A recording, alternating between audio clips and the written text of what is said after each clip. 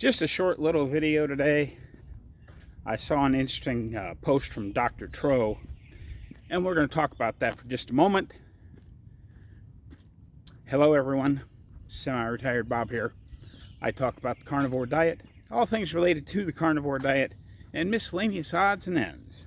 If you're new to the channel, welcome. I'm glad you're here. What you're watching is you're watching me walk. The interesting thing about this is that two years ago I couldn't do this. I could barely stand for a couple minutes without severe pain. Now I'm out here walking every day. If you're returning to the channel, welcome back. I'm glad you're here as well. It means a lot to me that you spend just a few moments of your day with me. I would like to ask everyone to help me out just a little bit. Go ahead and hit that thumbs up button. Drop down in the comments and say, Hi, Bob. If you haven't subscribed yet, please consider subscribing. All of these things are absolutely free and help me get the word out that it's never too late to change your life. I am 61 years old and I'm doing things that I couldn't do when I was 40. But this uh, this this post that I saw from Dr. Tro made me think, and it is exactly what we are up against. He was saying it because, you know, Dr. Tro runs a, an obesity clinic, basically. He, he helps people lose weight, and he told the guy that was there, I want you to eat low carb, high fat foods. And I want you to eat until you are full. And he was saying that the guy broke down crying right there in his office because every other place he'd been to had been telling him eat less, don't eat so much, eat less. And he said, You know, I always fell off the wagon because, you know, if you eat less, you're always hungry, and eventually your hunger will overtake you. And the same guy came back into his office a couple of weeks later and said, You know, the interesting thing about eating these high fat, low carb foods until I'm full is I don't get hungry during the day. I've never experienced that before. And that, my friends, is the true magic of the carnivore diet. Whether you're eating, you know, lion diet, carnivore, ketovore, keto, whatever, wherever you fall on the proper human diet spectrum, you just, because you don't have that sugar in your system driving your hunger, because sugar does mess up your satiety hormones. But because you don't have that, uh, that sugar driving your hunger, you don't get as hungry. There are some naysayers out there that say, oh, well, just you're not hungry, so you're not eating as many calories. Well, we all know that's not true. I like to use Rich Rodriguez the, the 40 year carnivore Charger Mopar as one of my examples. I mean, here's a guy who's 55 years old and according to him, I'm not there so I can't tell you for sure that's how much he eats, but he says that he eats between three and a half and five pounds of meat a day, meat and fat. Does that really sound like he's eating less calories? I don't think so. I know me personally, I eat between, you know, depends on how big of a package of hamburger I've got in the freezer. If it looks like it's a little bit over a pound, I'll have some eggs with it. And the smaller it gets, the more eggs I have with it. And then if, you know, it looks like it's a full two pound block of ground beef. I'll just have that instead of having eggs with it. That hardly qualifies as eating less. But I do want to give you guys an update. It's Saturday. Now this number is from, this is actually Friday before my live stream. but I added up the totals of all of the walking that had been reported so far. So as of Friday morning, as a channel, we have walked about 332,000 steps. That's a pretty good first week total. So keep after it out there.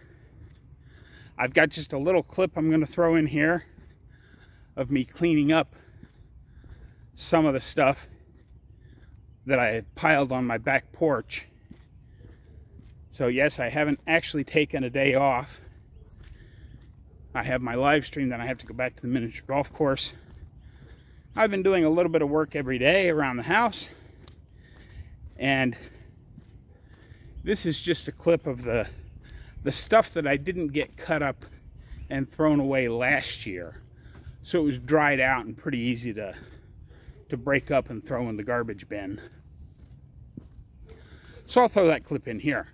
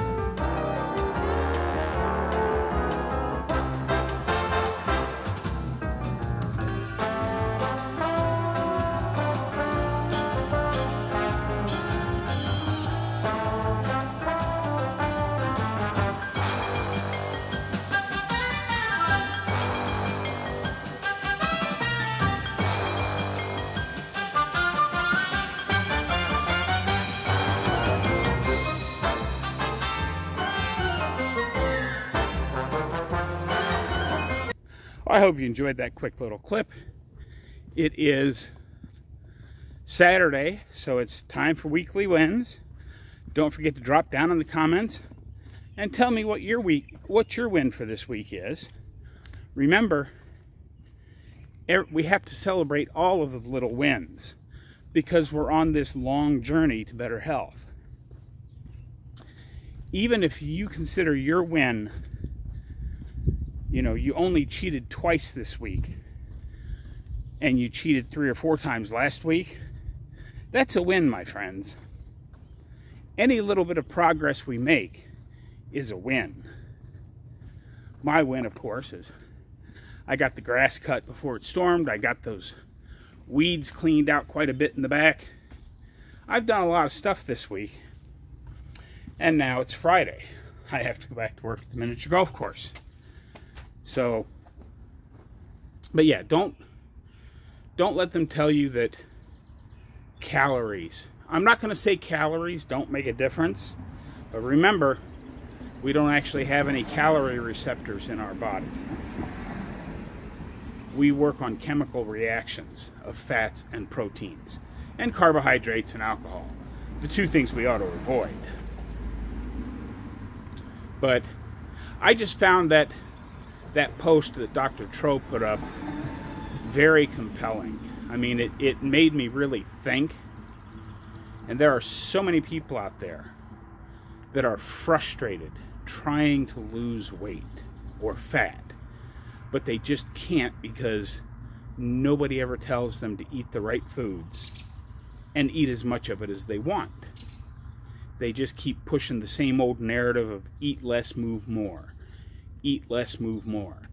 And we all know that that might work just fine when you're in your 20s and 30s, but once you get to be my age, it just doesn't work. You cannot cannot outrun a bad diet. That's what I've got for you today, folks. I hope you enjoyed this quick little video. Don't forget, get out there, be 1% better. Today, tomorrow, every day. Have a great day, folks. I'll see you in the next one.